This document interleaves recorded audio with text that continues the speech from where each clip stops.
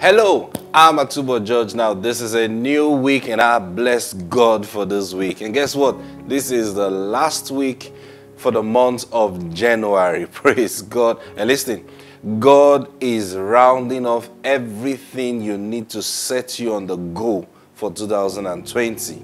Praise God. Now, I want to specially thank every one of you who, who sent a message, called, you know, to celebrate my birthday on the 25th. That was on Saturday. I appreciate God for every one of you. Thank you. And I pray that the Spirit of God will raise men to celebrate you also. Praise God. And we had a wonderful meeting on Saturday.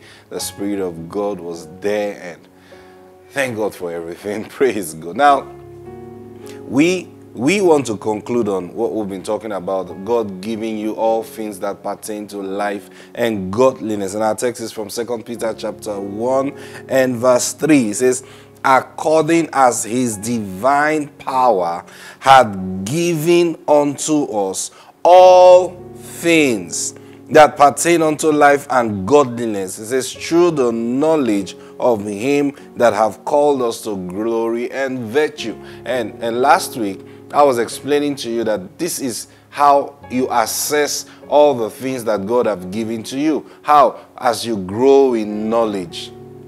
You see, as you, the more you know Him, the more you're empowered. The more you know Him, the more you're empowered. And, and when you're empowered, you have access to a lot of things. And that's how it works. Praise God. Uh, we're taking this, this a step further this week to find out what are those things that can hinder you from assessing all the things that God has given to you. Now, number one, and I need you to follow me carefully. One major thing that can stop you from assessing all things. It's one thing for God to have given you all things. It's another thing for you to walk in it. Now, the walking in it is your own part to do. See, God has done his part right from the foundation of the world. He has done his part. He's not doing anything again today. There is no cry you will cry to the Lord today. You know, like I told them on Saturday, God does not react. He's on the go. Praise God. Now, if you join him to be on the go, then you will begin to see everything has been given to you. Like First John say, if we walk in the light as he is in the light, we have fellowship. Note it. If we walk in the light as he is in the light, didn't just say if we walk in the light. You can decide this is my light. no, no, sir. If you walk in God's light, words, if you walk in the same frequency with God. Now, it is not God that will come walk in your frequency. No, no, no. That's not how it works. It is you that would climb up to walk in God's frequency. That's how it works. Because God, He made all things. He made you. He knows the way. He, He, think about it. So He's the one on the go. Now you are the one that may have stopped somewhere. So you're the one that needs to rise up and catch up with Him, not Him coming down or slowing down to walk with you. You need to understand this. Praise God. So now I said, one of the main things that can cause you not to receive or see all the things that God has given to you is strife. Now, strife, listen, strife is a killer. And this year, you must make up your mind you have no business with strife. Now, it doesn't mean people will not raise up a, a situation or situations will not come where you will be tempted to strive.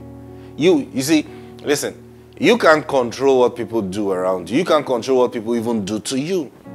But one thing that you have a full control of, if you're matured and you should grow in maturity, is your response to whatever people have done to you or whatever people are doing to you. Your response is in your power. See? So don't just sit down there and say, hey, it's because somebody did this, that's why I did this. No. When you are responding, one thing you must clear from your heart is strife. I'm going to be talking to you about strife this week, maybe for um, tomorrow. I'll get deep into strife and show you scriptures and examples or how people dealt with strife in, in, in scriptures. But I want you to know this today. Strife, S T R I F E, is a killer. It kills your destiny. It and, and, and let me tell you this. Satan cannot stop you. But he knows very well that if he can slow you down or make you to stop yourself, and he will achieve what he wants. See, Satan cannot block your destiny. I People say oh, every demon that is there's no demon blocking your destiny. But I'll tell you what demons do. I'll tell you what Satan does. He entices you. He he deceives you so that you by your own hand will block your destiny. He gets you to walk in the wrong attitude, so you block your destiny.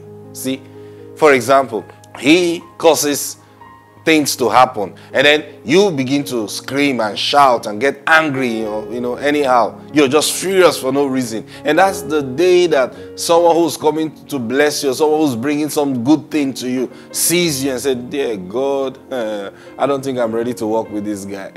it's God. You see, so Get yourself, tell yourself right now, I will not walk in strife. In 2020 and beyond, I will never walk in strife. Praise God. I've got to stop here for today, but you know what? Like I said, tomorrow I'm going to begin to talk about strife in details. You need to understand what I'm talking about. Praise God. Have the best day ever. Bye bye.